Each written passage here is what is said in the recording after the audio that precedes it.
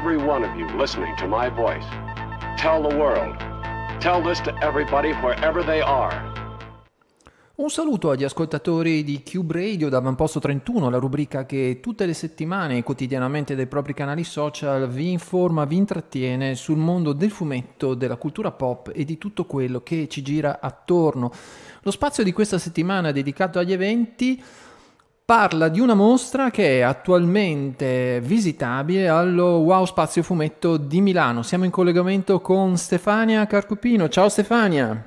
Ciao, ciao Andrea, grazie. Ciao Stefania, grazie a te di essere con noi. Eh, faccio una piccola premessa. Eh, wow Spazio Fumetto è una delle pochissime, se non l'unica, struttura permanente espositiva sul fumetto. È a Milano, in Viale Campania. È un, un, un esempio di, una, di un bellissimo recupero di una zona eh, che una volta era una zona un po' degradata della città e che invece oggi ospita un museo bellissimo diretto dal nostro comune amico Luigi Bona che salutiamo e che ringraziamo sì, per averci messo, infatti, messo in, in, contatto. In contatto. La cosa bella di questo periodo, il museo um, ospita mostre temporanee sempre molto interessanti, è quella dedicata a un grandissimo dell'illustrazione eh, del mondo dell'immagine italiano, che è appunto Fernando uh, Nusci Carcupino, tuo padre. Sì, sì, sì. Abbiamo avuto questa prima opportunità di essere ospitati allo WOW e siamo molto contenti, infatti. La mostra però, eh, allora, tuo padre ha, diciamolo, ha, ha, ha, percorso mezzo secolo di fatto, no? De, della, della, sì. de, della, della storia dell'immagine italiana producendo, producendo lavori anche prima, straordinari, diciamo. anche prima, perché ha cominciato sì. in realtà prima della seconda guerra mondiale, quindi Infatti, è, è, una testimonianza lunghissima e so che la vostra associazione è impegnata proprio nel recupero de, di, della, della, lunga serie di opere no? che, che, che tuo padre ha prodotto. Eh, la mostra, mh, mm, e ne parleremo, ma la mostra in particolare che in questo momento è allo Wow è dedicata a una parte di questa lunghissima carriera, quella dedicata al commissario Maigret. Sì, alle illustrazioni che hanno accompagnato la pubblicazione nel, nel 60, tra il 65 e il 70 di alcuni inediti in Italia di Maigret e di Simenon eh, che sono stati pubblicati per lanciare poi l'edizione su libro e su, invece questi qui sono apparsi su Grazia, su settimanale Grazia.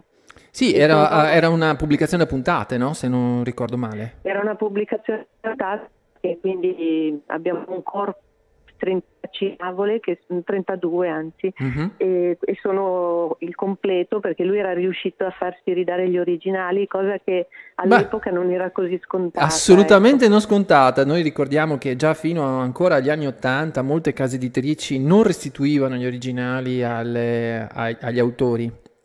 Sì, sì, inaudito. Sembra ovvio che debbano eh, sì, sì, sì, un'orribile, un'orribile abitudine, usanza. Perché, usanza, sì, tanto che tra l'altro accadeva non solo che le case editrici conservassero uh, gli originali, ma che poi nelle strane vie no, di, di, di archiviazione e quant'altro non solo non venissero più um, ridate indietro, ma addirittura in alcuni casi sono pure finite al macero ed è una cosa davvero orribile. Fortunatamente invece siete riusciti a recuperarle tutte ed è un materiale davvero di un valore incredibile, direi. Dal punto di vista pittorico poi sono, per noi sono straordinarie perché, eh, vabbè, come dicevamo, cioè, queste azioni però si vede che sono fatte da un pittore. Eh sì, sì, sì, sì e, assolutamente. E la, no, mi è venuto in mente pensando che tu sei un, un autore Bonelli, no? che, che, Bonelli diceva di essere una, uno scrittore prestato a, um, ai fumetti. Ai fumetti. Invece mio papà all'illustrazione e ad altre arti visuali, ma poi restituito alla pittura comunque. Infatti, infatti, devo dire che mm. queste opere sono straordinarie perché tra l'altro mm. eh, restituiscono con un realismo straordinario, ma anche mm. con un sapore grafico e illustrativo splendido a mio modo di vedere. Le atmosfere che erano quelle dello sceneggiato televisivo sì, dedicato sì. ai racconti di Simenon in cui eh, eh, appunto era Gino mm. Cervi il protagonista e, e la, la, la, la, capacità che ha avuto tuo padre di restituirne non solo le fattezze riprodotte sì, meravigliosamente, forse... ma proprio la, la, la postura, la, sì, le, le, espressioni. Sì, sì, sì. Ma infatti eh, sia eh, la psicologia del personaggio e l'atmosfera del racconto, per cui ehm, che, che, per noi è molto importante, è stato molto importante anche nell'allestimento, no? perché eh, il personaggio Maigret è, diciamo, è connaturato a Parigi. A, alla certo, è ambientato tutto a Parigi, certo. Sì, e sua, ai percorsi nei, nei, vari luoghi in cui avvengono le vicende. Questo si vede nei romanzi, si vede nelle tavole che prendono ogni volta una, un ambiente, un momento della, un particolare così. E noi abbiamo, abbiamo fatto un gioco anche collegando tutti gli indirizzi in cui si svolgevano eh, le varie scene alla cartina di Parigi che abbiamo poi esposto insieme, forse si vede nelle immagini che eh, in una delle immagini che ti ho mandato, se l'avete scelta. Può essere, adesso andremo a vedere. Eh, beh, è, una bellissima, è una bellissima cosa perché i romanzi di sì, Simenon da questo punto di vista... Eh, sì. Sì, sì, a vari livelli, no? sia eh, psicologico che proprio nello spazio e, e, nella storia di Parigi, insomma. Ehm, ma c'era una cosa che volevo dire, ma adesso mi sfugge. ma di, diamo, diamo, un po' di coordinate sulla mostra, perché eh, sì. nell'eventualità che qualcuno ah, sì, sì. avesse voglia ovviamente di andare a, a vederla, eh, eccola qui, diciamo così. È aperta ancora, è aperta fino, ancora al fino al 20 di ottobre, se non sbaglio. E il 20 di ottobre ci sarà anche un evento musicale e lettura all'interno di una specie di vernissage eh, per la chiusura, diciamo, per l'evento di chiusura, sì, certo. Sì, e l'ingresso è libero e niente. Sì, gli orari eh, vedo sono, sono tutti i pomeriggi dalle 15 alle sì. 19, no? E quindi... Eh sì, sabato e domenica invece di sera. Sì, fino alle 8 di sera, fino alle 8 sì. di sera. Sì, io, io, invito sempre, non è la prima volta che parliamo del ruolo spazio fumetto, mm. e, perché è, una, è, un luogo speciale, a mio modo di vedere, sì. no? È un luogo speciale di Milano, ma è un luogo speciale per chi ama il fumetto, ma in generale anche solo le cose belle, perché permette ogni volta è un punto di riferimento, permette davvero di, di, immergersi in questo mondo, ha una sala di lettura bellissima, è su due piani. E sì. appunto fa, fa, queste iniziative fanno, gli fanno, fanno onore a questa, a questa, istituzione, insomma. Sì, sì, sì, poi hanno un repertorio, anche una biblioteca, c'è cioè un, un, sacco di roba che è interessante.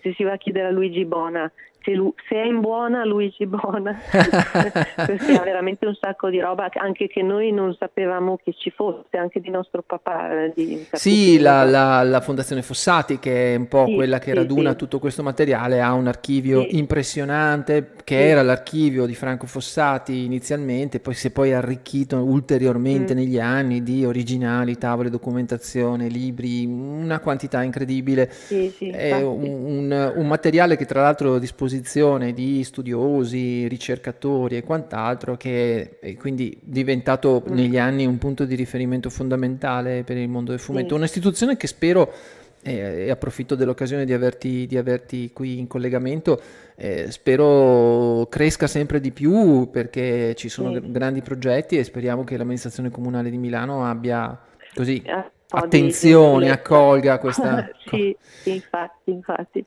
Eh, ah no, sai cosa volevo dire prima quando parlavi del megre televisivo? Uh-huh.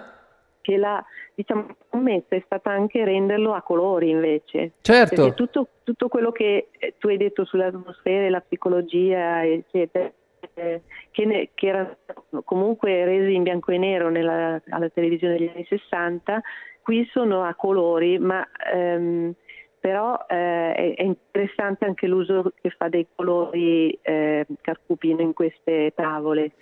Di solito c'è un colore di fondo, mm-hmm. un, mhm. un, colore mh, della tavola dominante. Dominante, certo, infatti, sì. rossi, ocra. Gre viene fuori, non so, con pochi tratti, ma come se uscisse proprio dal colore della tavola.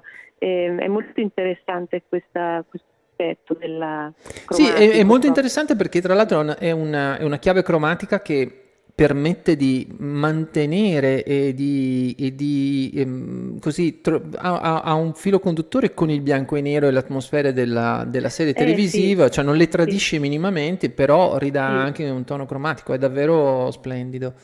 sì, davvero splendido. No, noi ricordiamo anche che tuo padre è stato è stato anche nel gruppo, eh, lo ricordiamo perché noi ci occupiamo spesso sì. di fumetto, eh, quello storico dell'asso di picche. Di Venezia, eh, esatto, sì, qui a Venezia, con il gruppo con Pratt, con Ongaro, con gli altri, quindi insomma un personaggio, da, esatto, un personaggio mm-hmm. assolutamente da, da, riscoprire, da conoscere e, e anche eh, da ricollegare a quell'esperienza, a mio modo di vedere, fenomenale che è stato lo sceneggiato televisivo degli anni 60 e 70 prodotto in Italia, un vero vanto a livello internazionale che n- sì. non è mai troppo tardi per riscoprire, insomma, soprattutto nelle sì, trasposizioni di opere di questo genere. Ma sai che eh, parlavo con un tipo che aveva, era un appassionato di Megre e che raccontava che quando eh, Simenon ha compiuto non so quanti anni, uh-huh. ha fatto grande festa e sono invitati, c'erano invitati i vari eh, interpreti di Grece, uh-huh. c'era mm, Jean Ben, Gino Kerr, ce n'era una, mi ricordo, e gli hanno chiesto ma qual è il vero Megre per te, qual è stato quello, e lui ha detto beh eh, sono tutti bravissimi però quello che proprio ha interpretato veramente è stato il pare che Jean Gabin abbia abbandonato la festa. La sala. Dando a Gino Cervi questo, questa, questo, riconoscimento. In effetti è davvero incredibile il modo in cui è riuscito a, a, a ritrovare l'atmosfera, il personaggio e sì, quant'altro. La, la lentezza. Sì, sì, sì, i tempi proprio, no? Lui era in questo senso era un attore straordinario perché poi in realtà in altre parti e in altre interpretazioni aveva dei toni completamente eh, diversi, no? Certo, eh, pensiamo certo. a Don Camillo, no? Eh, dove è tutto più veloce, tutto più sincopato, sì, sì. no? Quindi... Ah, sì, sì. No, no, aveva proprio una, era una scelta proprio così stilistica. Assolutamente, straordinaria. Sì. Stefania, noi ti ringraziamo tantissimo di questo tuo intervento, di questa testimonianza diretta. Eh, invitiamo, grazie, grazie assolutamente, invitiamo tutti i nostri ascoltatori, se sono da quelle parti, a farci un salto perché è aperta fino al 20, è il caso di approfittarne.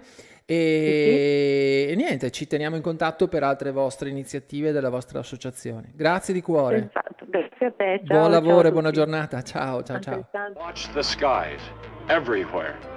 Keep looking. Keep watching the sky.